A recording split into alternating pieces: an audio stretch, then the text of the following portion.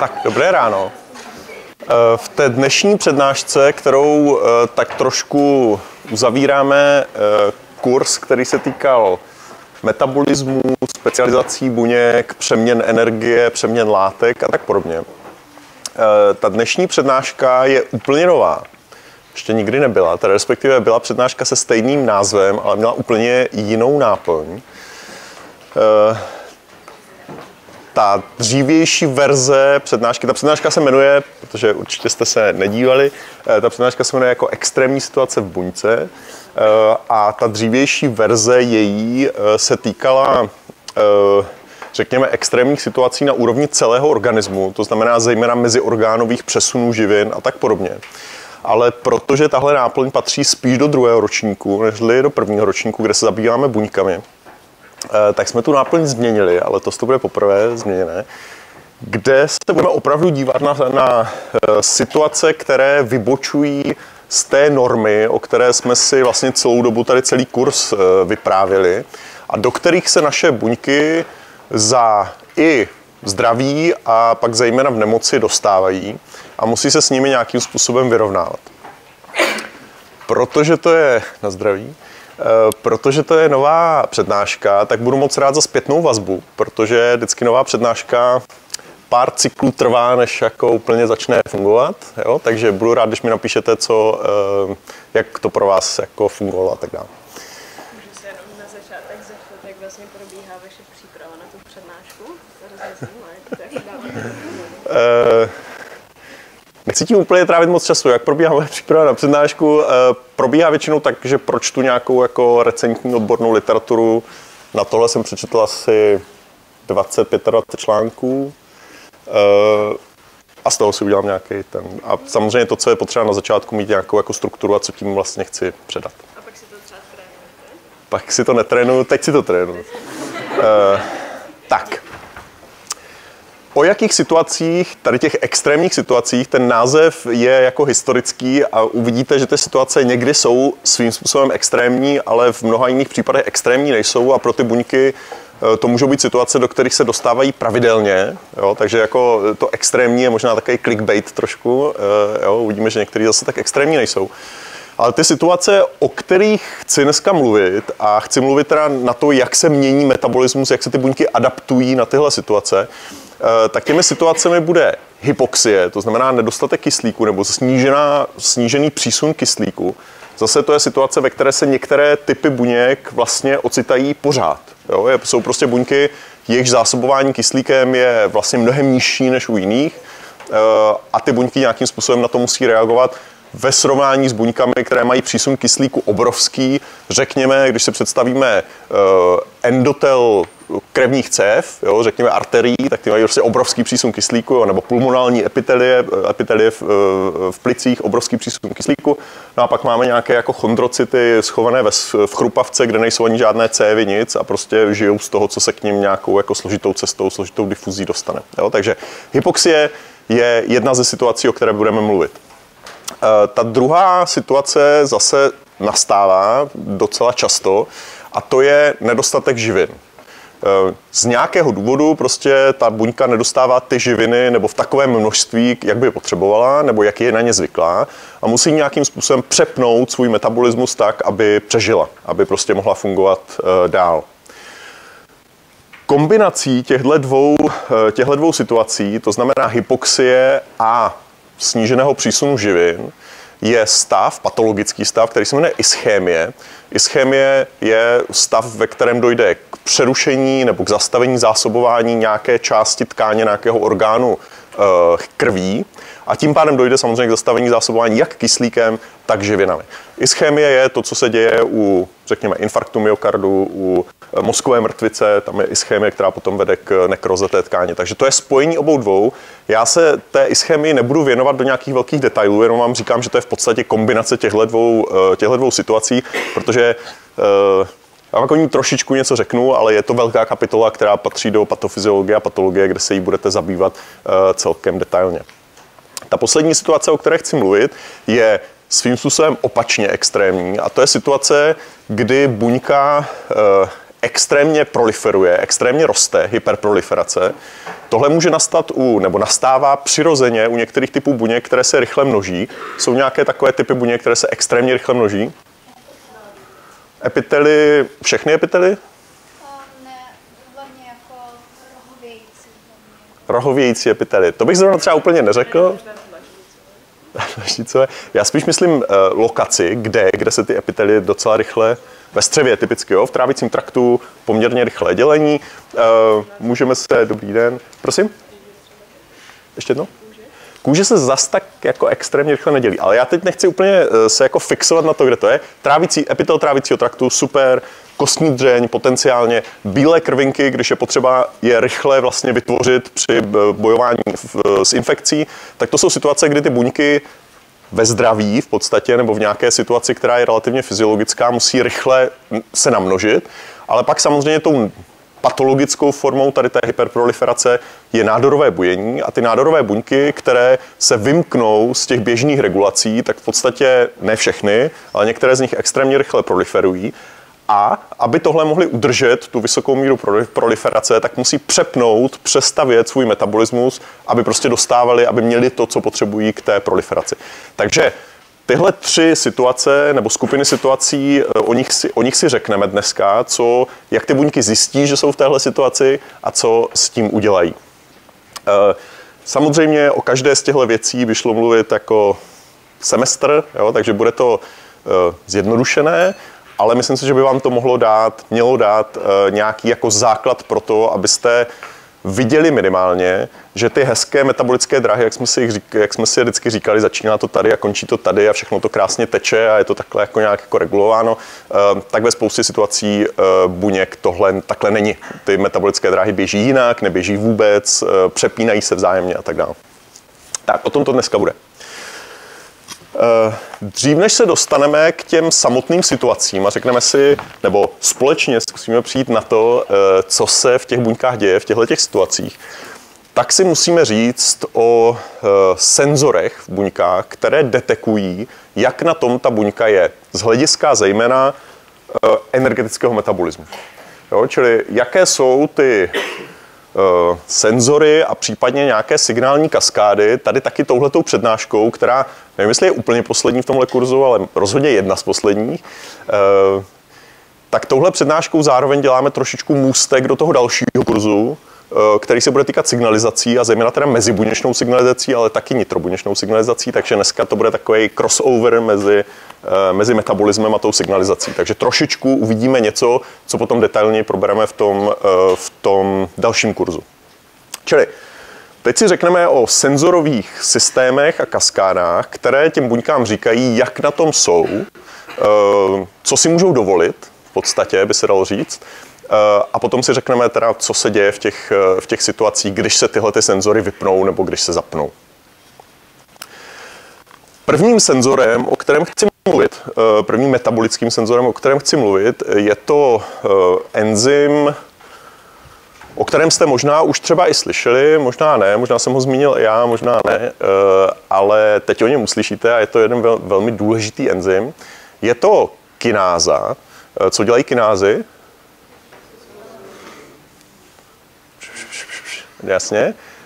Někdo by to řekl sám třeba, nebo sama? fosforilují výborně. A e, tahle ta kináza je protein kináza, to znamená, že fosforiluje proteiny e, a Fosforilace proteinů je jedna z velmi častých takzvaných posttranslačních modifikací, to znamená, protein se celý postaví a potom na něho můžeme navěsit nějaké věci a tím ho modifikujeme až po té translaci. A fosforilace velmi často slouží k regulaci nějakých, uh, nějakých proteinů.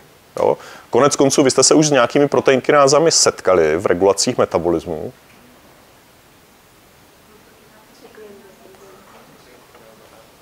Proteinkináza A, dobře.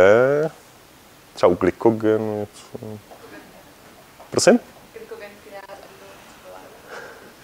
To ne, to nejsou proteinkinázy, ale glykogen fosforiláza kináza. Prosím? No, to, to je, to jako jo, ale ty regulační kinázy, pyruvát dehydrogenáza kináza? OK, Dobře. Prosím? Kalmodulin kináza, jasně. Setkali jste se s spoustou proteinkináz a teď si řekneme o další. Nebudu, nebudu eh, šťourat, kde co je. Jo? Eh, teď si řekneme o další proteinkináze a je to AMP dependentní proteinkináza. Neboli AMP kináza. AMPK. AMP dependentní kináza. Tahle ta protein kináza uh, je jedním ze tří, aspoň z těch tří, co si dneska řekneme, ale jedním z nejdůležitějších senzorů toho, jak dobře ta buňka produkuje ATP, respektive jaký je poměr ATP ku ADP.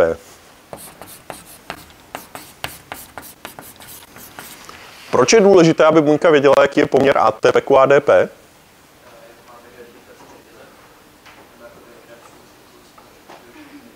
Jo, uh, OK.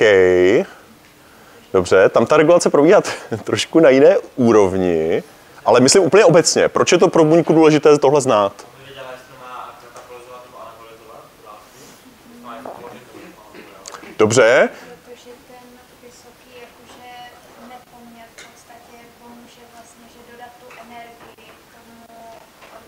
Jo, jo, z hlediska termodynamiky, to je tam, kam jsem jako směřoval, eh, tak ten poměr ATP ku ADP nám říká,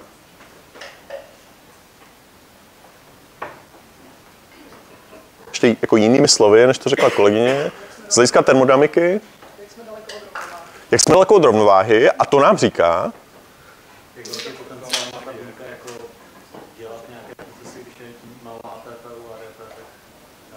Jak velký potenciál jak k a jakou energii. Jako, ano, ano, no, no, to jsem chtěl slyšet. Kdo nevím, kdo to řekl vzadu tam? Přesně tak. Ten poměr ATP ku ADP nám říká, jak moc práce může ta buňka udělat. Jo? Čili to je jako užitečných přenosů energie. Jo? Když, mi, když mi řeknete, kolik má ta buňka energie, no tak ona má jako plus minus furt stejně té energie. Jo? Ale ne všechna ta energie je užitečná. Jo? Takže poměr ATP ku ADP říká té buňce, kolik může dělat práce. Jo? To znamená pro svalovou buňku, to znamená, jak se může kontrahovat, pro sekreční buňku, jak může produkovat nějaké hormony a secernovat a tak dále a tak dále. Jo? Čili je to jeden z nejzásadnějších parametrů, který ta buňka musí sledovat, protože když ten poměr ATP ku ADP spadne, prostě klesá, tak to znamená, že ta buňka přestává být schopná dělat ty svoje, eh, ty, ty procesy, které potřebuje dělat, pumpovat jonty a tak dál, zapínat akční potenciál, secernovat neurotransmitery a tak podobně. Jo? Takže je to zásadní věc a tenhle ten poměr sleduje AMP dependentní kináza, což je teda protein kináza, která pak, jak uvidíme, tak fosforiluje nějaké další proteiny a tím je vypíná nebo zapíná. Teď ta otázka je, moje otázka k vám, e, proč je to AMP dependentní kináza? Když se díváme na poměr ATP ku ADP.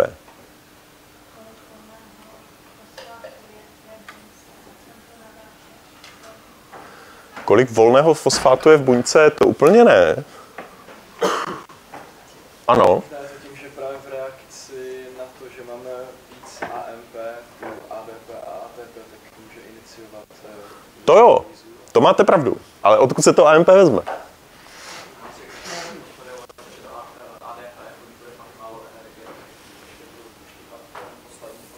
A kdo ho bude štípat? OK, to už se blížíte k tomu řešení. Ale naprostá většina enzymů, které vyžadují ATP, tak opravdu vyžadují ATP. Nemůžou si vzít ADP. Jako když, když není ATP, vezmu, jo, jako babice a prostě, jo, vez, když nemám ATP, vezmu ADP, to není možný jo, u většiny enzymů. Uh, ale existuje proces, existuje jeden enzym, který je možný, který tohle trochu umí, nebo určitě to umí. Když máme ADP opravdu hodně, tak je možné z jednoho ADP přenést ten fosfát na jiné, tím vám vznikne ATP. Super. Ještě máme energii, ale znamená, že už fakt jako jedeme na. To je rozhodně pravda. A jak se jmenuje ten enzym, co to dělá tohle? ADP kináza se tomu většinou neříká, byť to tak je. Říká se tomu adenylátkináza. Nevím, kdo to řekl, ale říká se tomu adenylátkináza. Je tenhle ten enzym, který ze dvou molekul ADP ve chvíli, kdy teda klesá ten, eh, klesá ten poměr ATP k ADP, tak ze dvou molekul AD, AD, ADP udělá jednu molekulu ATP, kterou zase teda může, můžou použít všechny ty enzymy, které to potřebují, a jednu molekulu AMP. Takže přenese jeden ten fosfát, vytvoří znovu ATP, tím posune tu rovnováhu zase ve prospěch, eh, ve prospěch ATP a buňka zase může nějakou dobu eh, dělat tu práci, kterou potřebuje. Tou adenylátkinázovou reakcí se teda produkuje AMP a když začne narůstat množství AMP, tak je to signál pro tu buňku, že jí dochází ATP. To AMP se naváže relativně komplikovaným způsobem, se naváže na AMP kinázu a alostericky ji aktivuje. Jo, čili je to alosterický aktivátor AMP pro AMP kinázu. Ta AMP kináza aktivovaná, protože to je protein kináza, tak začne fosforilovat specifické proteiny, které mají vlastně sekvenci, která odpovídá té fosforilační. Zase je to něco, co budeme společně víc probírat ve, eh, v tom třetím kurzu, jo, ale prostě je tam nějaká sekvence aminokyselin, na kterou eh, je schopná ta AMP, AMP kináza nasednout a navázat tam fosfát na serín nebo treonín, je to teda serín nebo treonín kináza, to zatím vás nemusí úplně zajímat, v příštím kurzu to budeme řešit, jo, ale jenom vám to tady dám, kdyby vás to zajímalo, jo, takže naváže, naváže ten fosfát na zbytek serínu, případně treonínu a většinou na serín. Tak. Když je AMP kináza aktivována, tak je to signál, že co má ta buňka dělat. Jenom teďka jako z logiky věci. Co, co potřebuje udělat? Musíte trošku víc nahlas, já nevím. Musí? Jasně, potřebuje produkovat víc ATP, to je jedna věc. To znamená, potřebuje aktivovat dráhy, které ve výsledku vedou k produkci ATP. To je jedna strana mince. A druhá strana mince je zastavit ty dráhy, které ATP spotřebovávají a v tu chvíli prostě nejsou jako tou prioritou pro tu buňku. Jo? Takže pokud buňka má málo ATP, tak kromě toho, že potřebuje navýšit její, její produkci, což ne vždycky jde, tak ještě taky musí snížit spotřebu ATP. Jo? Čili tohle je přesně, co skrze fosforilaci různých proteinů AMP kináza dělá, je, že aktivuje dráhy, které vedou ve výsledku, buď přímo nebo ve výsledku vedou k produkci ATP a zastaví dráhy nebo inhibuje dráhy, které to ATP spotřebovávají. Tak, jedna z věcí, nebo jeden, jeden z proteinů, který uh, neúplně přímo, ale aktivuje uh, AMP kináza, jsou přenašeče pro glukózu. Je to celkem logický, když má buňka málo ATP, tak se pokusí vystavit co nejvíc přenašečů do, do cytoplazmatické membrány, přenašečů pro, membrá, pro glukózu, tak, aby dostala co nejvíc glukózy, ze které potom ve výsledku skrze glykolízu a případně Krebsův cyklus a dýchací řetězec udělá ATP. Tak, jaké přenašeče máme pro glukózu? Ano, jsou to glut přenašeče. A jsou se SGLT přenašeče. Eh, AMP kináza působí především na glut eh, přenašeče a je schopná zvýšit jejich množství v membráně a zvýšit jejich aktivitu. Jo? Čili tímhletím mechanismem AMP kináza je schopná v podstatě pro jakoukoliv buňku, které se nedostává ATP, ji přimět k tomu, aby vystrčila na svůj povrch glut přenašeče. Proč to takhle zdůraznuju? Uh, vy už jste slyšeli, nebo uslyšíte, uvidíme, Eh, že signálem pro, věč, pro některé buňky, signálem pro vystavení glut, a zejména glut 4 uh, eh, přenašečů je, je inzulín. Jo? Je inzulín. Tohle to, co vám teďka tady ukazuju, je důkaz, že ten inzulín není potřeba.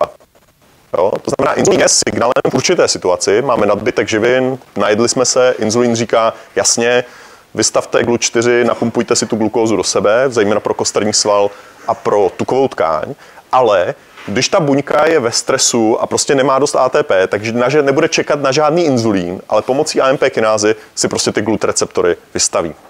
Jo? Eh, klasický příklad, který, který používám, ještě ho ode mě uslyšíte moc krát, eh, je prostě ráno nesnídali jste, celou noc jste nejedli, vaše hladina inzulínu bude naprosto minimální, jo, ale prostě jdete pozdě na přednášku, potřebujete běžet na autobus, tak samozřejmě prostě poběžíte a ty svaly si prostě tu glukózu zvládnou vzít, i když tam žádný inzulín není. Jo. Takže tohle je jenom jako ukázka, eh, že regulace transportérů pro glukózu nezávisí zdaleka jenom na inzulínu. Inzulín je signál pro určité situace, ale AMP kináza je schopná ty GLUT receptory taky aktivovat a dostat je na membránu. Eh, v případě AMPK se jedná zejména o GLUT1 a GLUT4. GLUT4 to je ten takzvaně inzulin senzitivní, jo? ale jak vidíte, tak to zdaleka nemusí být jenom inzulin, který ho aktivuje. Takže jedna z věcí, kterou buňka může udělat je, nebo udělá rozhodně, je, že si vystaví prostě spoustu transportérů pro glukózu, aby té glukózy co nejvíc dostala. Následná věc, když už glukózu máme, e, máme v buňce, tak ji musíme nějakým způsobem metabolizovat. A to další, co AMP kináza aktivuje, je glykolíza.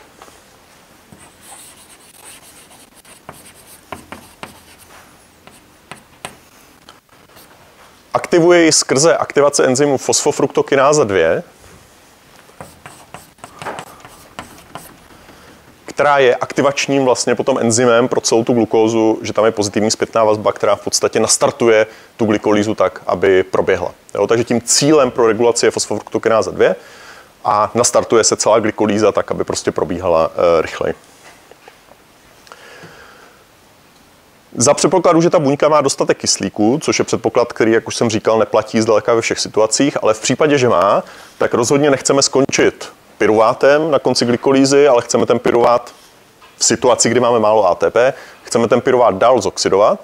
A co je enzymem, který umožňuje glukóze, teda výslednému pyruvátu, aby dál byl metabolizován, tak který ten enzym je proto zásadní? Pyruvát dehydrogenáza a AMPK aktivuje pyruvát dehydrogenázu skrze pyruvát dehydrogenázu kinázu, to je ten regulační enzym.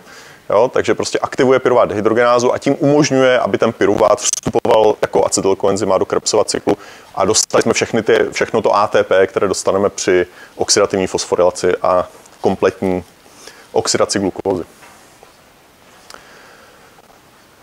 AMP kináza aktivuje spoustu dalších e, procesů, o kterých už se nebudu zmiňovat, ale zmíním se ještě o jednom dalším, který je trošku jako svým způsobem nadřazený všem, nebo ne, ne nadřazený všem, ale je takový jako komplexnější.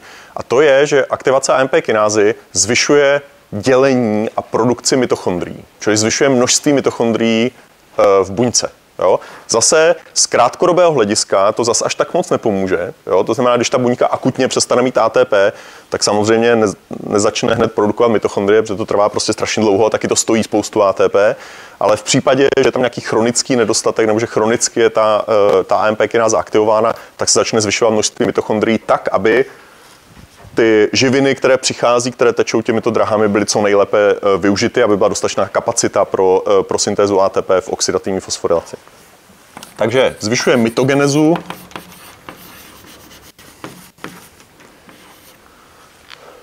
což je velmi komplikovaný, eh, komplikovaný proces. Kdyby to někoho extrémně zajímalo, tak je to skrze aktivaci transkripčního faktoru, které se jmenuje, který se jmenuje PGC1 alfa. Ani to nebudu psát, ale kdyby to někoho extrémně zajímalo, tak, eh, tak tohle je ta cesta, skrze kterou AMP kináza aktivuje eh, mitochondriální biogenezi.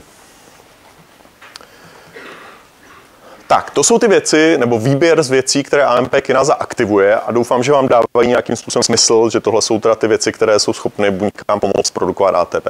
Teď se podívejme na tu druhou stránku, kde AMP kináza zablokuje dráhy, které naopak by spotřebovávaly nadměrné množství ATP a nebyly by potřeba. Jednou z takových drah typických je syntéza mastných kyselin. Syntéza mastných kyselin spotřebuje obrovské množství volné energie, jo, je to prostě energeticky náročný proces a proto AMP kinaza sníží syntézu mastných kyselin. A na které úrovni si myslíte, že by to tak mohlo být? Který je ten enzym, který určuje, že vlastně pak už to teče do syntézy mastných kyselin? Je to vlastně ten první krok k té syntézi. Uh-uh. Je to acetylkoenzymá karboxyláza.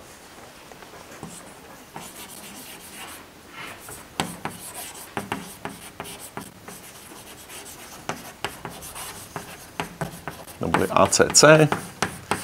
Acetylkoenzymá karboxyláza, která vytvoří malonylkoenzyma a ten potom postupuje dál už do, té, do toho multifunkčního enzymu, kde se syntetizují mastné kyseliny. Jo? Takže AMP kináza sníží aktivitu toho prvního enzymu a tím pádem zastaví nebo sníží aktivitu celé té dráhy a neprodukují se zbytečně mastné kyseliny. Druhá takováhle syntéza, která je velice energeticky náročná a ve chvíli, kdy nemáme ATP, tak ji rozhodně nebudeme jako uh, preferovat, je syntéza cholesterolu. Syntéza cholesterolu a stero, stero, steroidů, řekněme obecně. Jo. Takže syntéza cholesterolu a tím enzymem, tím hlavním regulačním enzymem té steroidní dráhy je izoprenoidní dráhy.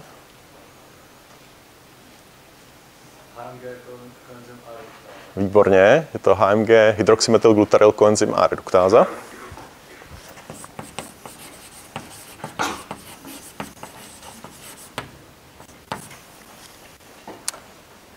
Tu izoprenoidní dráhu jste ještě neměli, ta bude až ve třetím kurzu. OK, tak uh, preview hydroxymetylglutaryl koenzym A reduktáza je ten regulační enzym syntézy cholesterolu a dalších izoprenoidů. Uh, velmi energeticky náročná dráha, takhle ji krásně zablokujeme.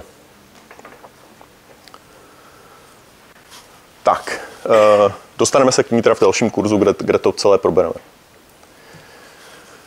Další logicky drahou, kterou chceme zablokovat, zablokovat je glukonogeneza. Jo? Zase glukonogeneza ve chvíli, kdy ta buňka nemá, nemá glukózu, nedává to žádný smysl.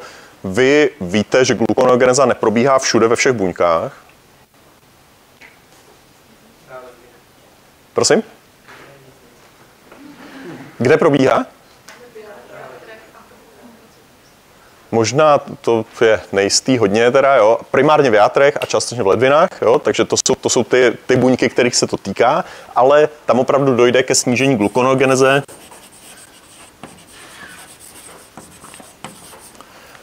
A je to teda taky přes regulaci té fosfofruktokinázy 2, která je schopná vlastně zastavit glukonogenezu a nastartovat uh, glykolízu. Jo, takže je to, je to vlastně stejný, stejný mechanismus. Tak. Poslední věc, kterou AMP kináza deaktivuje, a zároveň to bude můstek k tomu dalšímu regulátoru, protože to je přesně to, co AMP kináza deaktivuje, je to, nebo senzoru, eh, snižuje aktivitu toho senzoru, o kterém si řekneme hned v té další části, který se jmenuje mTOR,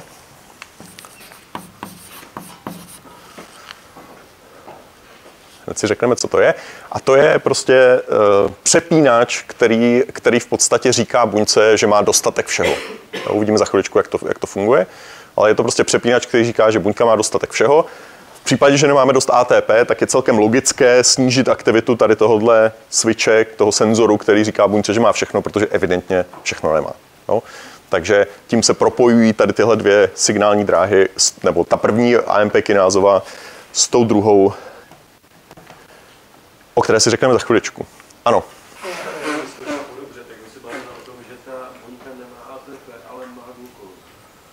No, má, má ji k dispozici, jo, jasně. Jako, eh, samozřejmě v případě, že máme tu totální ischémii, kde prostě je zablokovaná krevní céva, neteče tam vůbec nic, tak ta buňka samozřejmě zapne všechny tyhle ty mechanismy, teda dokud ještě jako žije, jo. Ale samozřejmě, jo, jako nebude mít odkud vrát.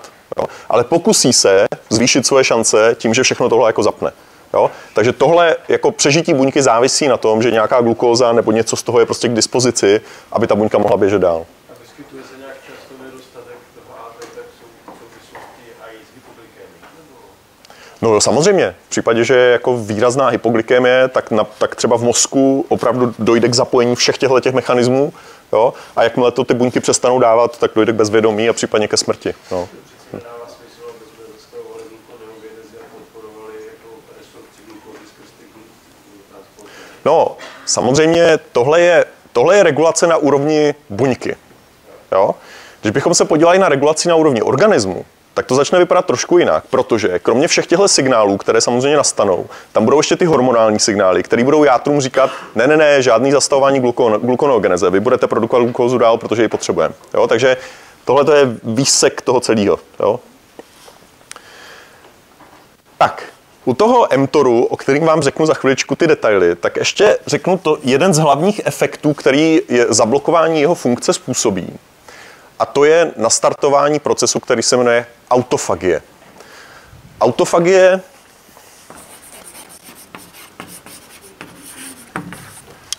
je fyziologický normální proces v buňkách, kdy ta buňka pohlcuje docela komplikovaně regulovaným mechanismem svoje součásti a rozkládá je na aminokyseliny, cukry a tak dále. Jo? Čili pomocí autofagie, což je v podstatě vytvoření váčku, do kterého se prostě chytí nějaká část buňky a tou částí buňky může být glykogenové granulum, jo? může to být uh, lipidová kapenka, může to být mitochondrie nebo kus mitochondrie, může to být kus endoplasmatického retikula. Jo? Takže tenhle ten proces se nastartuje a začne vlastně ta buňka sama sebe kanibalizovat, aby si vyprodukovala nebo aby aspoň nějakou dobu získala nějaké substráty pro svoje další přežití. Jo? Tohle je proces, za který uh, dostal, myslím, jenom jediný přeživší objevitel téhle autofagie Nobelovu cenu v roce 2016, není to zase tak jako dávno. A je to, je to proces, který dlouho byl naprosto přehlížen a byl považován za něco, co prostě jenom ve výjimečných případech ty buňky dělají. Dneska se ukazuje, že to je úplně běžná věc, kterou, tu, kterou ty buňky dělají pořád. Jednak v situacích, kdy mají málo substrátu, vidím vás za chviličku, eh, kdy mají málo substrátu a potřebují se je naprodukovat, ale taky to dělají ve chvíli, kdy třeba nějaké části té buňky jsou poškozené. Trochu poškozená mitochondrie, nefunkční mitochondrie, tak přijde autofagie, schlamsne mitochondrii, spojí se s lizosomem, rozloží mitochondrii a recyklují se vlastně ty, um, ty komponenty. Jo, takže autofagie super zajímavý uh, proces, který čím dál více ukazuje, že fakt jako jak v patologických, tak ve fyziologických situacích je naprosto zásadní. Bylo by to na celou přednášku, jo, takže víc vám k tomu teď neřeknu, ale deaktivace mTORu nastartuje autofagii a dává to nějaký smysl. Ano. Jo, aktivovaný mTOR bude blokovat autofagii. Když ho deaktivujeme, tak ta autofagie se nastartuje.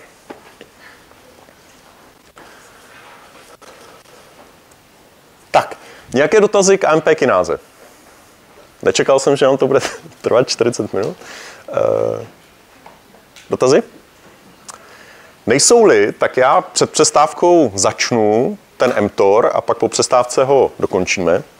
Takže dalším univerzálním, super důležitým přepínačem senzorem eh, v buňkách, které se týkají energetického metabolismu. Je tady tady tenhle ten podivná zkratka mTOR,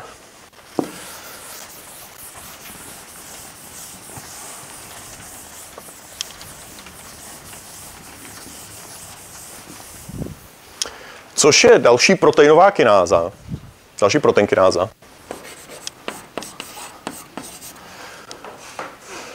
často najdete ještě, že se to jmenuje mTOR-C nebo dokonce mTOR-C1, ale můžeme klidně tomu říkat mTOR pro jednoduchost.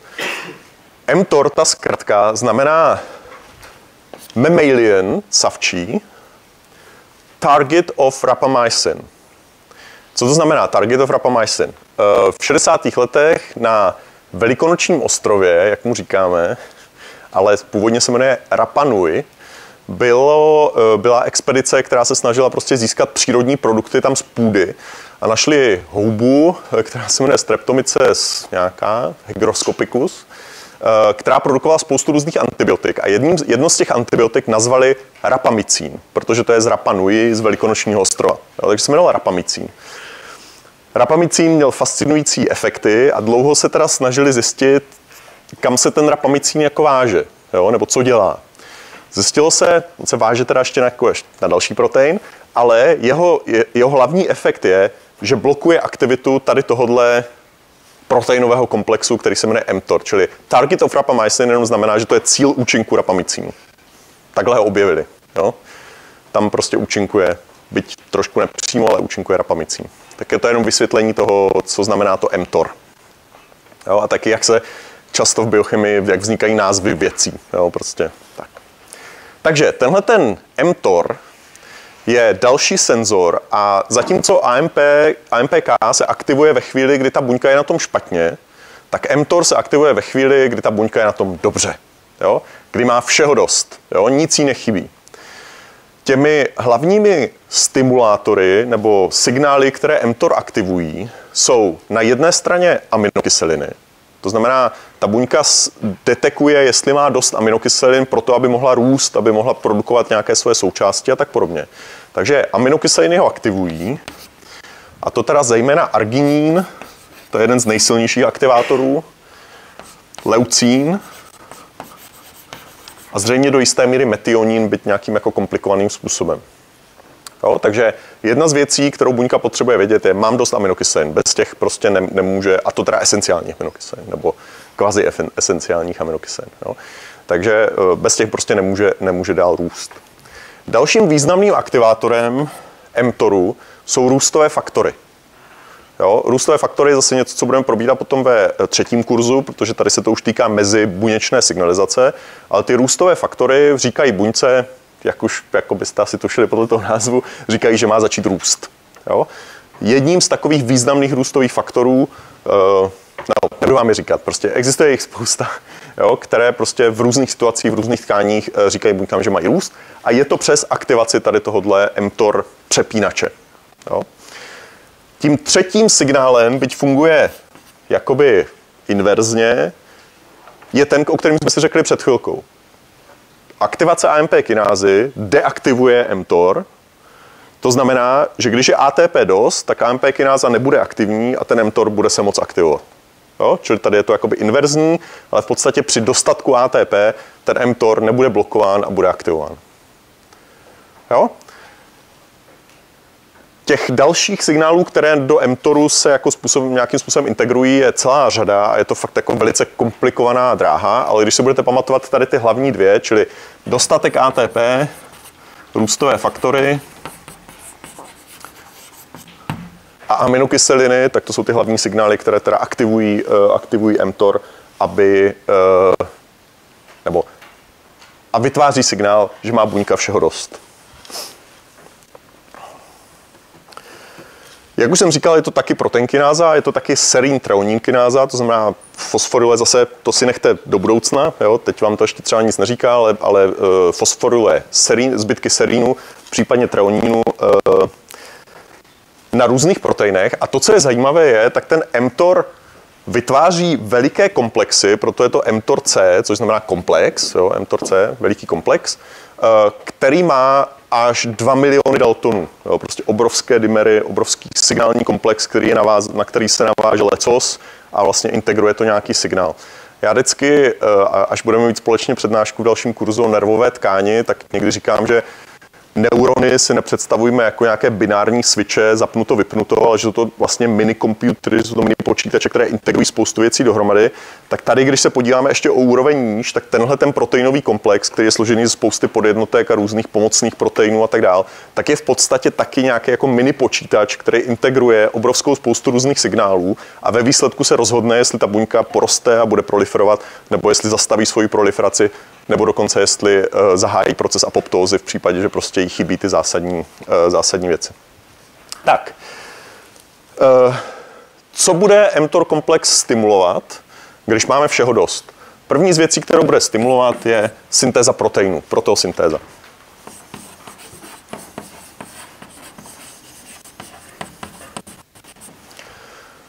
Tohle to probíhá na úrovni ribosomu, jo, to znamená, je to v podstatě regulace přímo ribosomální e, translace, jo, a ten mTOR komplex je schopen vlastně odstranit inhibici té ribosomální translace tak, aby se ty proteiny začaly produkovat e, podle toho, jaká mRNA do nich přichází. Nebudu zacházet do detailů, protože jste translaci ještě neměli, takže nevíte, jak se tam ty jednotlivé faktory měli. No dobře, stejně vám to nebudu říkat, protože je tam těch faktorů strašně moc a je to zbytečný podle mě vědět. Další celkem logická dráha, která se bude aktivovat, a tu jsme ještě určitě neměli, protože tu máme dokonce, jestli náš v tom posledním kurzu, nevím, je syntéza nukleotidů. Syntéza nukleotidů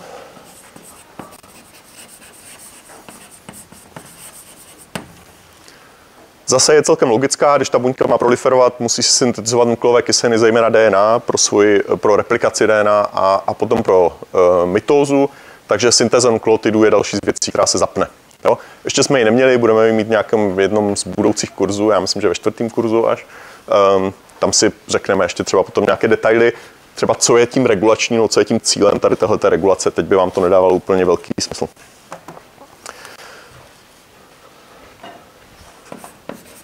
Aktivace mTOR, aktivovaný mTOR, taky zvýší syntézu mastných kyselin.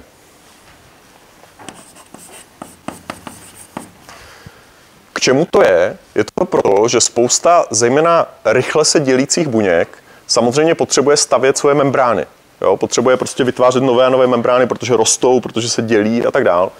A minimálně z části ty masné kyseliny, které jsou proto potřeba, tak jsou vyprodukovány denovou syntézou a jsou teda nasyntetizovány tady touhletou drahou, která se aktivuje. To, co je možná trošku paradoxní, nebo takhle, já ještě řeknu předtím jeden a pak to uděláme jako můstek a pak si dáme přestávku. Uh, další z věcí, kterou už jsme viděli, která je aktivována, tak je aktivována mitogeneze, produkce mitochondrií. A tady si všimněte, že dva úplně odlišní signály, jeden je signál nedostatku, druhý je signál dostatku, tak ve výsledku vyprodukují velmi podobnou dráhu, eh, což je teda mitogeneza. A ta logika je asi taky jasná, protože když chceme růst, proliferovat, dělit se a tak dále, tak potřebujeme více, více mitochondrií. Ta poslední dráha, to bude můstek k tomu třetímu senzoru, který si řekneme po přestávce, je trochu paradoxní a trochu jako kontraintuitivní. A to je, že ten mTOR aktivuje glykolízu, čili zase jako podobnou věc jako ta MP kináza, aktivuje glykolízu. No to ještě není kontraintuitivní, jo? to dává celkem jako smysl ale aktivuje tu glykolízu pomocí aktivace toho třetího přepínače, o kterém si budeme povídat. A to je přepínač, který detekuje hypoxii. A jmenuje se Hypoxia Inducible Factor. Takže ten aktivovaný mTOR, který říká buňce, máme všeho dost, tak zároveň aktivuje senzor, který buňce říká, máš málo kyslíku. Jo? A je to proto, nebo není to proto, že by ta buňka měla opravdu málo kyslíku, ale je to proto, že aktivace tady tohohle, jak vidím za chviličku, tak tohohle třetího přepínače spouští dráhy, které dodávají velké množství ATP, tak jak jsme to viděli u AMP kinázy. To, co naopak se sníží, je autofagie, nebo vypne se autofagie, protože nepotřebujeme si vyžírat prostě nějaké svoje vlastní uh, uh, komponenty, zejména když produkujeme furt nové. Jo? Ten mTOR zapne produkci nových eh, organel, nových membrán a tak dále. A kdyby zároveň byla zapnutá autofagie, tak by si to zase ta buňka zpátky hned prožírala v podstatě a byl by tam, byl by tam jako zbytečný cyklus tvorby a degradace. Nějaké, nějaké dotazy k mTOR komplexu? Pokud ne, tak si dáme pětiminutovou přestávku a budeme pokračovat tím HIFem.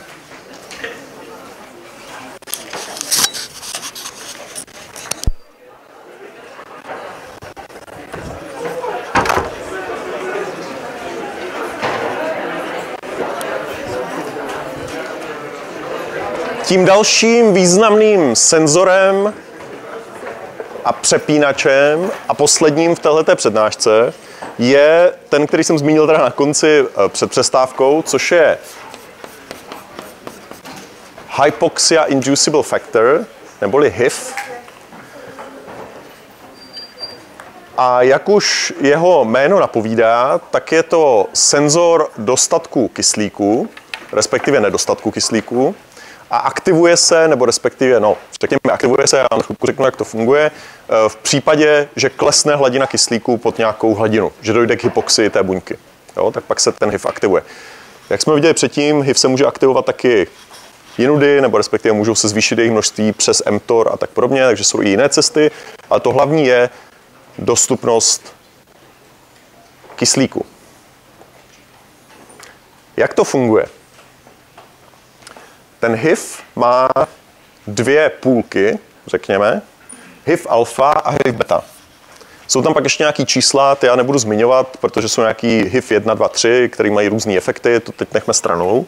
Ale máme HIV alfa a HIV beta. HIV beta sedí v jádře na DNA a čeká v podstatě na to, až se k němu připojí, takže jsme tady v jádře někde, jo, na DNA, sedí i v beta a čeká, až se k němu připojí HIV alfa, vytvoří dimer a začnou ovlivňovat genovou expresi. Začnou prostě aktivovat transkripci nějakých genů. Ten HIV alfa je v cytoplazmě a v podstatě to, co se děje v případě, že je dostatek kyslíku, čili když je dostatek kyslíku, tak ten HIV je hydroxylován pomocí enzymů, které se jmenují prolyl hydroxylázy.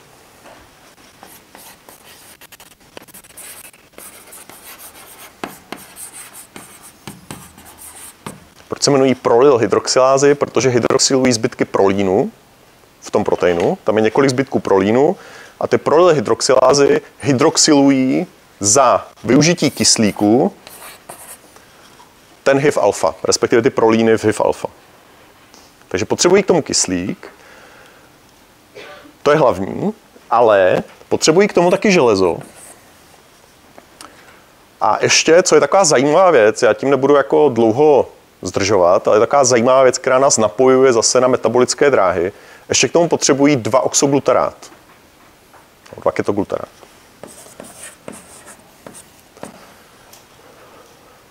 Úplně do závorky ještě dám,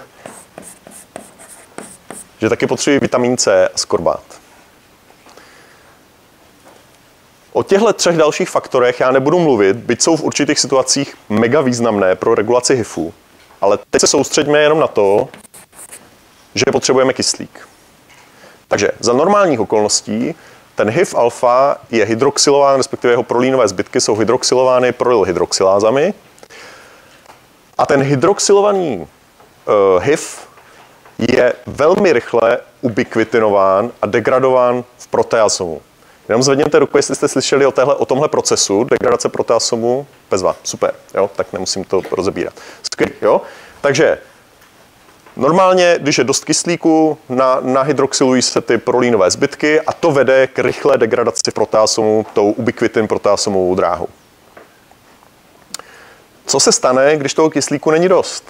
No, nedojde k té hydroxylaci, protože ty prolylhydroxylázy nejsou schopný ten kyslík využít. Dojde ke stabilizaci toho HIFu, to znamená, on není degradován v proteasomu a když je ho když se prostě objeví v té cytoplazmě a nějakou dobu tam vydrží, tak se translokuje do jádra, vytvoří dimer s tou svojí druhou půlkou, s tím HIFem beta a začnou společně aktivovat transkripci různých genů. Logicky ty geny, které budou transkribovány, které budou stimulovány, budou ty, které pomůžou buňkám se nějakým způsobem vyrovnat s tím, že mají nedostatek kyslíku.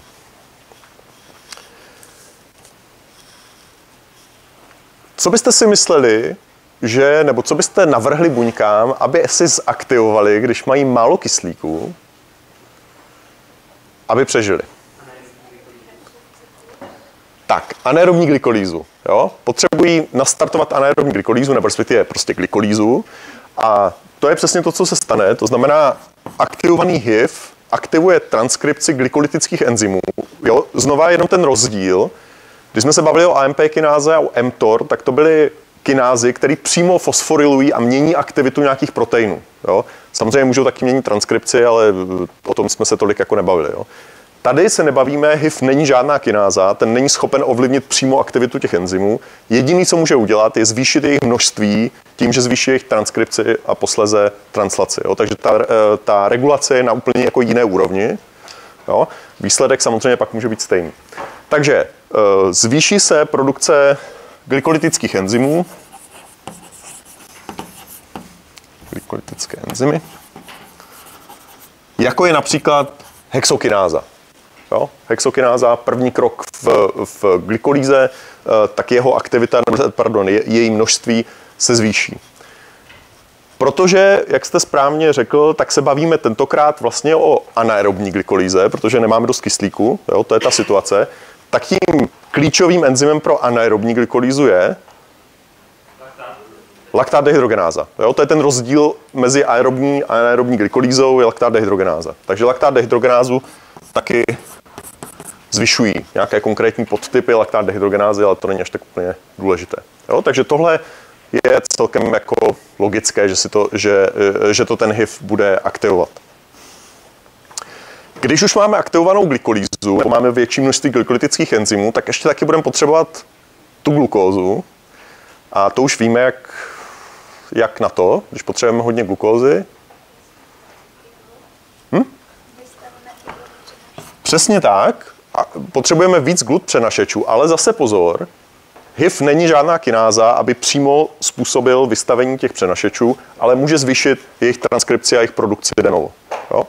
Takže gluty, myslím, že to je tady hlavně 1 a 3, ale to není až tak úplně zásadní, jenom když si budete pamatovat, že prostě aktivuje uh, transkripci a produkci uh, těch přenašečů.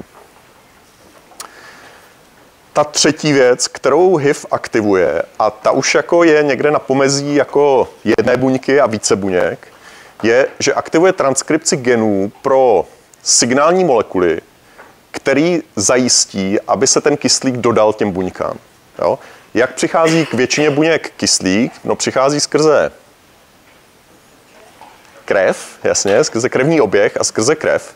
Takže tu další věc, kterou HIV aktivuje, je vlastně jsou signální molekuly, které prostě zvyšují krevní zásobení. Jo. Jedním z nich je gen pro erytropoetin, což je hormon, který zvyšuje tvorbu červených krvinek.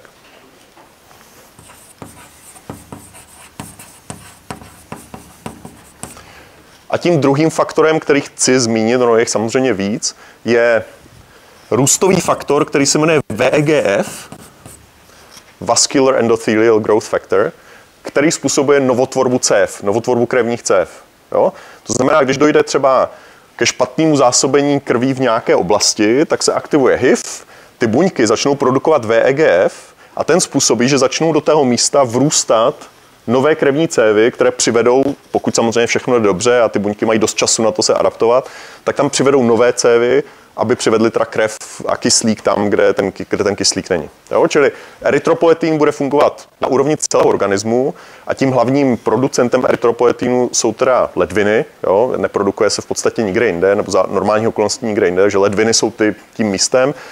Víc červených krvinek znamená víc, uh, vidím vás, víc červených krvinek znamená víc kyslíku a tohle je třeba podkladem pro adaptaci ve vysokých horách. Jo? To znamená, když jste na, já nevím, 3000-4000 metrů nějakou dobu, se vám zvýší množství červených krvinek a je to proto, že se aktivuje v ledvinách. HIV způsobí produkci erytropoetínu a potom v kostní dření se vyprodukuje víc červených krvinek, aby se zase zvýšila zpátky ta hladina kyslíku ve tkáních na tu normální úroveň.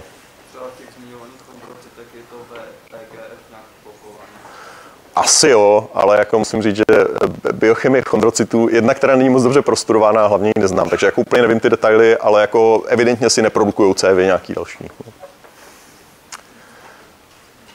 Tak, uh, doufám, že tady tyhle ty aktivace dávají nějaký smysl. Je jich samozřejmě mnohem víc, já jsem jenom vybral ty, které jako v tuhle chvíli budou dávat, uh, budou dávat jako nějaký, nějaký smysl. To, co naopak bude deaktivováno, bude, a to už tady zaznělo, Krebsův cyklus.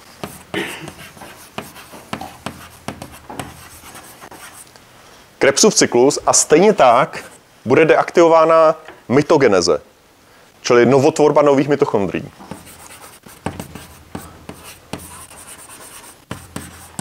Zase, dává to docela dobrý smysl, když nemáme dost kyslíku, na co si produkovat nové mitochondrie, když nám budou k ničemu, protože prostě nemáme dost kyslíku na to, abychom, uh, abychom ho v té oxidativní fosforilaci využili.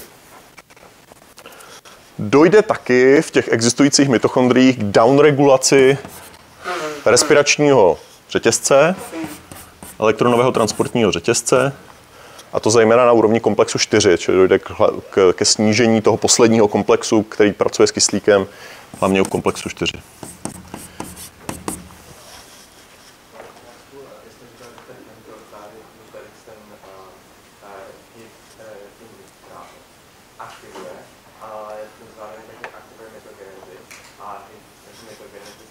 Jo, je to tak, jo. Jako, uh,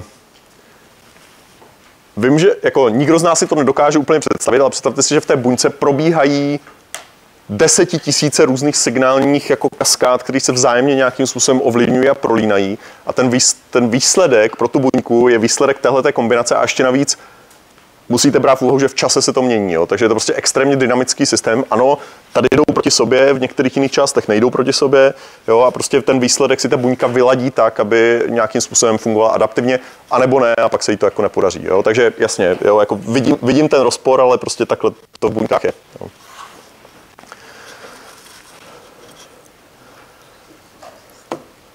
Tak, to je všechno k HIFu.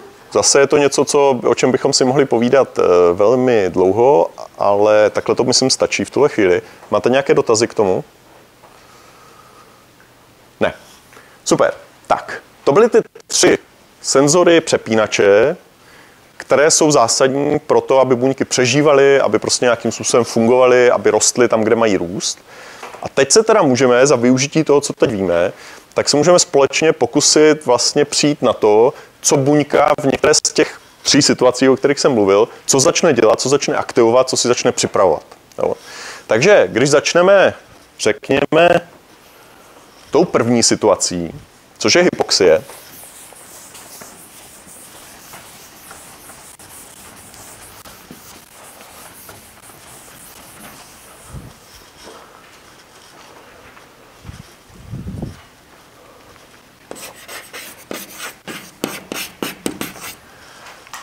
tak co se stane v buňce, která je náhle, řekněme náhle, vystavená hypoxii, nedostatku kyslíku? Co budou ty, co se, co se zapne, co se vypne, podle toho, co jsme si řekli, a co budou, vteřinku, a co budou výsledky nebo dopady na metabolismus a prostě jak to, jak to bude fungovat. Eh, co se stane v buňce, která přestane mít přístup ke kyslíku? Tak, zapne se HIV, bude se stabilizovat HIV. To jsme si řekli před chviličkou. Jo, to je prostě dáno jenom tím, že ty prolhydroxylázy nebudou mít dostatek kyslíku na to, aby destabilizovali na to, aby destabilizovali um, ten HIV a tím pádem on se jako translokuje do jádra a začne měnit transkripci. Tohle se přesně stane, ale jak už jako napovídá ten mechanismus jeho účinku, to znamená, on se musí translokovat do jádra, tam musí dojít k transkripci, pak musí ta mRNA výjít ven a musí dojít k translaci a pak se ten protein přes Golgi a nevím, kam musí jako dostat, tak tahle regulace v tom úplně akutním stavu bude relativně málo významná. Jo, protože to prostě trvá stra, jako, ne strašně dlouho, ale trvá to řekněme hodiny. Jo? Trvá to hodiny, než ten efekt nastane. Jo? Takže pokud se bavíme o hypoxii, náhle vzniklé hypoxii ve smyslu infarktu myokardu nebo něco dalšího, tak ta signalizace skrze HIV nebude úplně ta zásadní. Jo? Pro déle trvající hypoxii začne být zásadní, ale tady spíš ne. Tak, co dál se stane, když, když buňce zastavíme přístup kyslíku? Začne, super, začne docházet ATP. A jak, jak to, že začne docházet ATP? Přesně tak, čili zastaví se eh, elektrotransportní řetězec v mitochondrii, tím se taky zastaví Krebsův cyklus, jo, Krebsův cyklus se taky zastaví. Když vám nefunguje dýchací řetězec, tak se zastaví Krebsův cyklus. Proč se zastaví Krebsův cyklus?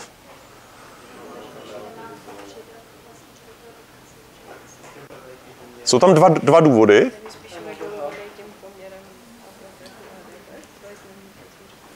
Dýchací řetězec určitě. Jo, dýchací řetězec, no ne, dýchací řetězec se tady zastaví, protože není kam dodávat ty elektrony. Jo, takže to je, to je jasný. Ten se zastaví nezávisle na tom, jestli je ATP nebo ne. To sice jo, tady, tady ATP bude klesat. Jo? Tak, jeden důvod je, že nebude fungovat samozřejmě sukcená dehydrogenáza, jeden ze zásadních, zásadních kroků. A je tam ještě druhý důvod. Přesně tak. Jo? V Krebsově cyklu se produkuje NADH, respektive se teda redukuje NAD plus na NADH a my, kdybychom ho nechali běžet bez funkčního dýchacího řetězce, tak se bude hromadit to NADH a ten, dýchací, a ten Krebsův cyklus se prostě zastaví, jo? protože bude přebytek NADH a nebude kam dávat ty elektrony. Jo? Takže zastaví se dýchací řetězec, zastaví se Krebsův cyklus, zastaví se vlastně veškerá produkce ATP tady v téhle oxidativní části metabolismu a dojde, jak správně říkáte, dojde teda ke snížení ATP, respektive poměru ATP k ADP, to je to hlavní, co nás zajímá, a dojde teda k aktivaci AMP kinázy, protože dojde teda zároveň taky k akumulaci AMP tou adenylát kinázovou reakcí. Tak, co způsobí aktivace AMP kinázy? Tohle je rychlý. Jo? Aktivace AMP kinázy, to se bavíme o jako vteřinách. Jo? To nastane velmi rychle. Tak co nám AMP, kináza zajistí? Vypne mTOR, možná neúplně ta nejdůležitější věc, jo? protože zase to je trošku na dlouhý lokty, ale jasně, vypne mTOR. Jo? Já dám ještě taky příležitost dalším lidem. Takže vypne mTOR, nepochybně, to se stane. Co dál? Jo, buňka je najednou bez přístupu kyslíku. Musí, musí přežít, nebo nemusí, ale bude se snažit přežít. Musíte trošku víc nahlas, já ani nevím, kdo mluví, nebo zvedněte ruku, abych vás... Ano? Trošku delší větu možná. Zaktivuje se anaerobní glykolýza. Super. A jakým mechanismem se ta glykolýza aktivuje? Jakým mechanismem ta AMP kináza? Jo. Už máte radost z toho, že jste to řekla? Už dobře, tak někdo jiný? Ano? Ještě musíte víc křičet? Ano, přes PFK2, to jsme si řekli, takže se zvýší flux v té, eh, v té glykolytické části, jasně, bezva. Takže zvýší se glykolýza. Co dál udělá AMP kináza? Jasně, super, mega důležité, vystaví gluty, pardon, 1 4 jsme si říkali, ale tak to není až tak úplně důležité, vystaví gluty tak, aby prostě ta buňka byla schopná uh, pumpovat co nejvíc, nebo nasávat, přesněji řečeno, co nejvíc glukózy pro potřeby té glykolízy, která teda se stane jediným producentem, uh, jediným producentem ATP. Jo? Bez kyslíku buňka nemá žádný jiný, žádný jiný způsob, jak produkovat ATP, než skrze, eh, než skrze glykolízu. Jo? To je asi jasné. Tohle je regulace skrze tu AMP kinázu, kterou vidíte opravdu jako ve vteřinách. Jo? My, my, když se prostě podíváme na buňky v laboratoři a přidáme k ním, eh, my většinou neděláme hypoxy, ale když tím přidáte, já nevím, kyanit nebo oligomycí nebo něco, co jim zablokuje dýchací řetězec, tak ty buňky během vteřin prostě začnou, nastartujou strašně rychle, nastartují tu glykolízu a najednou vidíte obrovskou produkci protonů a laktátu, protože prostě ta buňka takhle je schopná přepnout. Ne všechny buňky jsou schopné takhle přepnout, ale některé prostě přepnou fakt během vteřin na glykolízu a začnou prostě, když mají dostatek glukózy, tak prostě jedou, jedou na glykolízu. Tak, co ještě se stane? Nebo může, můžeme ještě něco, co by se mohlo dál stát? Ano? Uh, mitogeneze jasně, to bude se spíš asi odehrávat zase v delších nějakých časových uh, rámcích. Jo? Když ta buňka teda přežije tu akutní hypoxii nebo bude v nějaké chronické hypoxii, tak mitogeneza určitě nastane.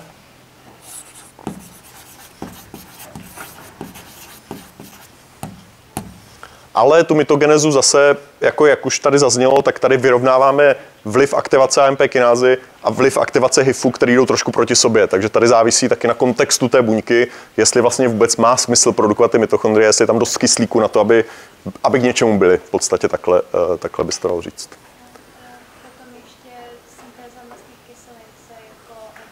Jasně, jo, inhibují se v podstatě všechny ty zásadní syntetické dráhy, protože ta buňka stejně na to, na to nemá.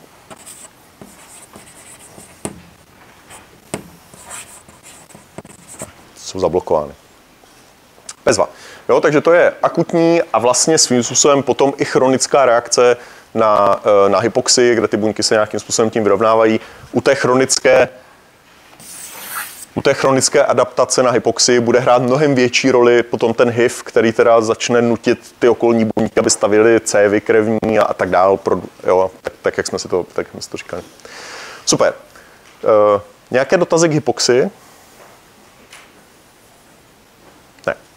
Tak, nedostatek živin. Jo? To znamená, řekněme zase, akutně ta buňka prostě přestane mít přístup k, k, k živinám. Jo? Už chcete odpovídat? Nebo?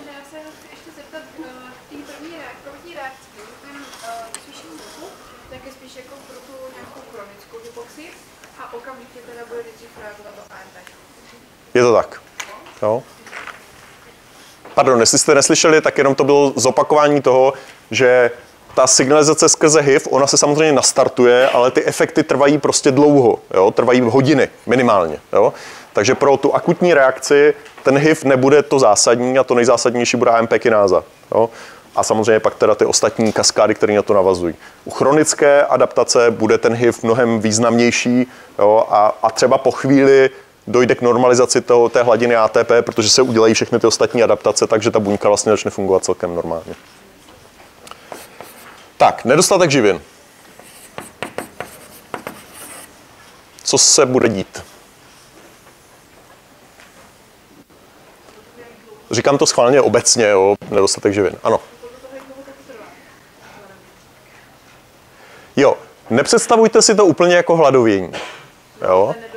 Jo, protože hladovění zase spíše na úrovni celého organismu a dostali bychom se do meziorgánových vztahů, jak se přesouvají živiny mezi orgány. Jo?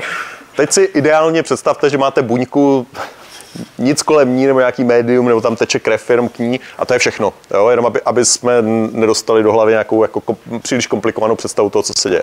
Tak OK, závisí na tom, jako jak dlouho to trvá, nepochybně, ale prostě nastalo to teď. Tak co ta buňka začne dělat? Ano. A jak? Tak, aktivuje se AMP kináza, jasně.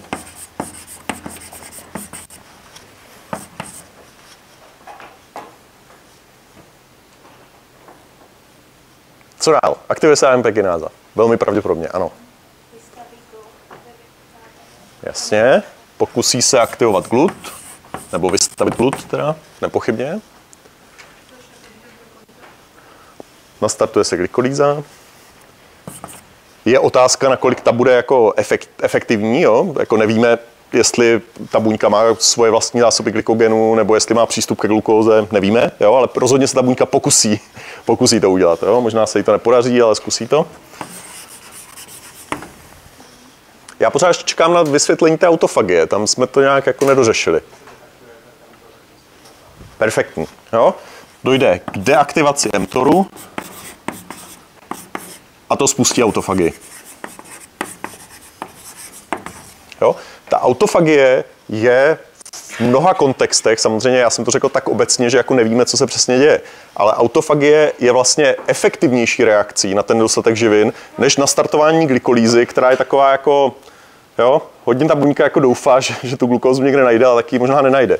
Zatímco autofagie je v podstatě jistotka, jo, nebo zase taky nemusí být, jo, ale prostě, že si začne požírat svoje vlastní glykogenový granula a tak dále.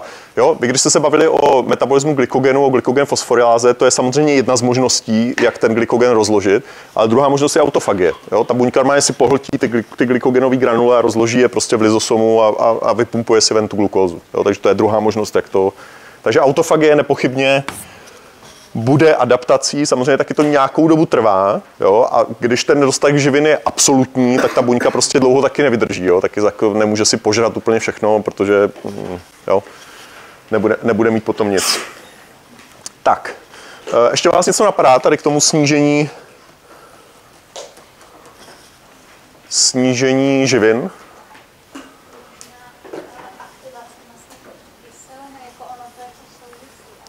To spolu souvisí, ale vlastně i ta aktivace, řekněme, beta-oxidace, nastane trošku ne, nepřímo.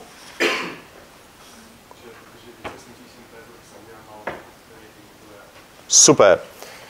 Čili, tak jak jsme si to řekli tady, tak se zablokují ty syntetické dráhy, včetně syntézy masných kyselin, a ta nám odblokuje beta-oxidaci tak, takže se samozřejmě ta beta-oxidace nastartuje. Bezva. Tak, já jsem zmínil na začátku, že kombinací hypoxie a nedostatku živin je stav, který se jmenuje ischémie. Jo? Typicky prostě ischemická choroba srdeční, infarkt myokardu, eh, mozková mrtvice, čili infarkt mozku. Jo? Eh, jsou typickými příklady té ischemie, což je kombinace obou těchto faktorů. Měl jsem dotaz upros, eh, mezi, mezi teda, při přestávce, eh, jako jak ta buňka umře, jo, když nemá nic. Protože při té akutní ischemii nějaká část buněk, které prostě přestanou mít přístup ke kyslíku náhle, přístup ke kyslíku a přístup k živinám prostě jako umře. Jo? A eh, já jsem teda v odpovědi na tu otázku jenom to naznačím, protože to ještě budete mít detailněji, ale jsou principiálně dva druhy buněčné smrti. Jeden se jmenuje nekróza, což je úplně neregulovaná smrt buňky, kdy ta buňka prostě přestane být schopná udržovat eh, toky ontů, osmot, osmózu a tak dále, prostě praskne a všechno se vyleje ven a prostě ta buňka přestane existovat. A pak je velmi kontrolovaná buněčná smrt, která se jmenuje apoptóza. A apoptóza je velmi komplikovaný systém, který jde spustit několika různými způsoby, velmi regulovaná. A tam ta buňka sice taky jako skončí mrtvá, ale krásně po sobě uklidí. Jo? Rozloží si, rozkouskuje si DNA, zabalí si do různých váčků a tak podobně a prostě jako tak jako klidně odejde, jo, řekněme. Jo? Takže to, co se děje u té ischemie, kdy prostě najednou ta buňka nemá nic, jo, tak samozřejmě ty buňky nějakou dobu, i v tom srdečním svalu, prostě nějakou dobu se budou snažit přežít. Jo. To, co se stane, když se budeme bavit o srdečním svalu, to, co se stane, je, že prostě ve chvíli té hypoxie ten sval se přestane stahovat. Ten hypoxic, pardon, ischemie. Ten ischemický sval, náhle ischemický, se přestane stahovat, protože prostě nemá dost ATP na to, aby, aby se stahoval. To je první věc. Ty buňky se přepnou do pomocí tady těchto všech jako senzorů se přepnou do takového jako hibernujícího stavu, že prostě přestanou být aktivní, přestanou prostě pumpovat ionty, snaží se jenom jako nějakým způsobem přežít. Ale samozřejmě část těch buněk v té největší části schémě prostě nekrotizuje. Jo, velmi rychle prostě už to jako nedají. Ale kolem, té, kolem toho centra ischémie je spousta buněk, které nějakým způsobem přežívají, hibernují něco, nějak jako to. A když dojde potom, díky moderní medicíně, k obnovení průtoku, eh, průtoku krve, protože dneska víte, že naprostá většina infarktů myokardu, teda u nás, eh, se řeší eh, angioplastikou, respektive prošťouchnutím té, té cévy, že jo? tak když dojde do nějaké doby k obnovení toho průtoku krve, tak velká část těch buněk tady v té hibernující části můžou přežít a můžou se zotavit a můžou být jako naprosto znova funkční.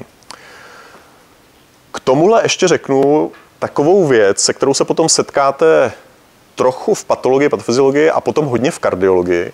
A to je věc, která se jmenuje ischemie reperfúze. Já hned vysvětlím, co to znamená. No.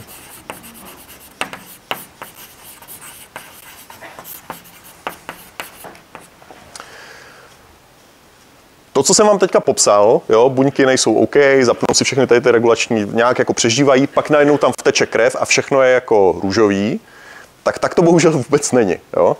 To, že ta buňka je v těžké hypoxii, v těžké ischémii, nedostatek živin, nedostatek kyslíku, tak tam nastanou různé procesy, abych tak řekl, různé věci, začnou se akumulovat nějaké uh, metabolity a tak podobně.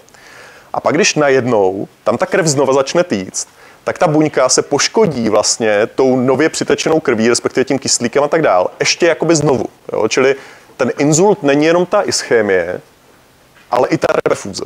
Jo, ta buňka prostě není pak schopná znova jako se rychle přepnout zpátky do normálního fungování a dojde vlastně k poškození ještě tou reperfúzí.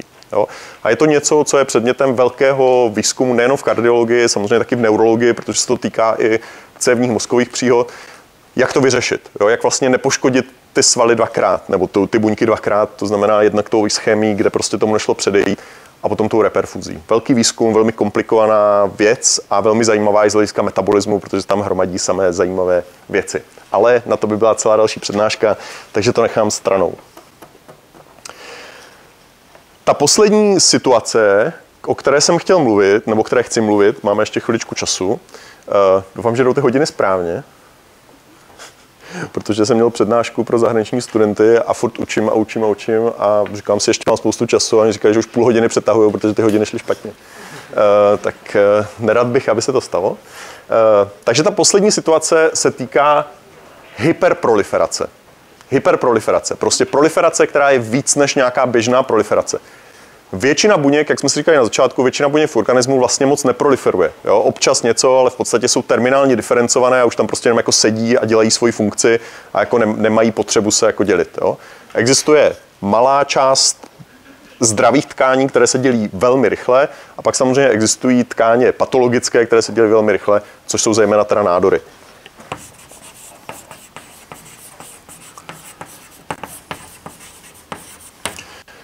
Těch hyperproliferujících buněk tím hlavním přepínačem, který musí být zapnutý, je je mTOR. Jo? mTOR. Jo? Bez toho žádná proliferace nebude. Vzpomněme si, mTOR, aktivovaný mTOR zapne syntézu proteinů, syntézu nukleotidů jo? a tak dále, všechno. Jo? Bez toho ta proliferace prostě nebude. Takže mTOR musí být zapnutý a zároveň AMP kináza musí být vypnutá, protože ta by šla proti tomu. Jo? Takže, takže to, tyhle dva switche, prostě, který, by, který jeden musí být vypnutý, jeden musí být zapnutý.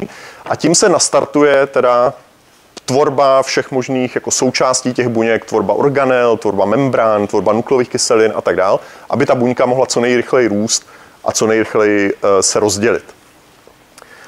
Samozřejmě mezi normálními tkáněmi a nádorovými tkáněmi je spousta rozdílů a to třeba v tom, že normální tkáně potřebují k tomu, aby se ten mTOR dostatečně aktivoval, potřebují ty růstové faktory. Jo, čili potřebují něco, aby tu buňku nastimulovalo, že má růst. Jo. U nádorových buněk někdy ty růstové faktory jsou taky potřeba. Jsou nádory, které absolutně potřebují nějaký růstový faktor nebo nějaký hormon k tomu, aby rostly. Pak jsou samozřejmě e, nádory, které si zmutovaly nějaké proteiny v signálních kaskádách a tím pádem dokážou růst i bez přítomnosti těch, e, těch růstových faktorů a prostě rostou a rostou a rostou. E, ta regulační část té hyperproliferace je teda asi jako celkem zjevná. Je to prostě aktivace mTORu a všech těch ostatních věcí. To je jako jasný. Ale to, co je ještě zajímavé, a to je v těch posledních dvou minutách, co vám tak chci říct, je, a já už jsem to trošku zmiňoval, když jsme se bavili o Krebsově cyklu a tak podobně, že ty hyperproliferující buňky používají ten energetický metabolismus trošku jinak. Jo? E, nejedou tím klasickým, přijde glukóza, glykolíza, jde do Krebsova cyklu, oxidativní fosforilace, vy, vypumpujeme z toho co nejvíc ATP a vlastně nic jiného nepotřebujeme, protože ta rychle proliferující buňka sice potřebuje ATP, rozhodně, ale ještě mnohem víc, nebo minimálně stejně zásadně, potřebuje zdroje, potřebuje suroviny pro to, aby si právě stavila proteiny, masné kyseliny, prostě všechny tyhle ty věci, cholesterol a tak podobně. Čili, kdyby ona vzala glukózu a nechala ji projít celým krpsovým cyklem, no tak žádný zdroj pro to nemá. Jo? Jako celá ta glukóza bude, eh, žádný myslím jako zdroj ve smyslu uhlíkových řetězců nebude mít, protože ta glukóza bude kompletně oxidována na oxid uhličitý. Jo? takže nevyužije nic. Takže většina těch hyperproliferujících buněk produkuje ATP převážně glykolízou. Samozřejmě to je aerobní glykolíza, protože je tady dostatek, dostatek kyslíku. Je to aerobní glykolíza, ale končí laktátem. Aerobní glykolíza někdy se jako, eh, někdy je to matoucí pojem. Jo? Já používám aerobní glykolízu jako glykolízu, která probíhá za dostatku kyslíku. Jo? Tady je dostatek kyslíku, nebo někdy, jo, dostanu se za chvilku po těch posledních 30 vteřinách, možná se k tomu dostanu. E, většina, představme si, že ty buňky mají dostatek kyslíku, takže to aerobní glykolíza, ale produkuje se laktát. Ten laktát je exportován ve velkých množství z těch buněk ven, produkuje se prostě eh, ATP tímhle, ale samozřejmě část té glukózy jde do pentozofosfátového cyklu, aby se vytvořila ribóza pro nukleové kyseliny jo, a zároveň, aby se naprodukovalo NADPH, které potřebujeme pro syntézu mastných kyselin, pro syntézu cholesterolu a tak podobně. Takže pentozofosfátová dráha. Jo.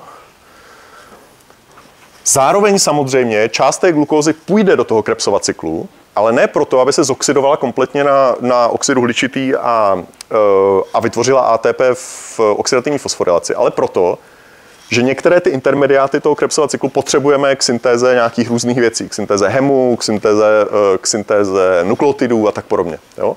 Takže může jít do Krebsova cyklu, ale ne proto, aby se rozložila, ale proto, abychom si vybrali ty, eh, ty intermediáty pro to, co potřebujeme. A poslední charakteristika, která je velmi častá u rychle proliferujících buněk, je, že jako další významný zdroj uhlíku využívají glutamin, což je teda nejvíc abundantní aminokyselina, kterou máme v krvi, že využívají glutamin a z toho glutamínu dělají lecos všechno. Jo? Glutamin se přemění na glutamát, glutamát se přemění na ketoglutarát, jde do Krebsova cyklu, ale zase v tom Krebsově cyklu u těch rychle proliferujících buněk neteče tím jakoby správným směrem, to znamená, že je potom, že je potom oxidován přes sukcinát a namalát a tak dál, ale a už jsem to zmiňoval té přednášce o Krebsova cyklu, tady se ten Krebsův cyklus otočí, ten ketoglutarát je naopak reduktivně karboxylován na izocitrát, vzniká z něho citrát. A ten citrát je potom zdrojem acetylkoenzymu A pro syntézu masných kyselin.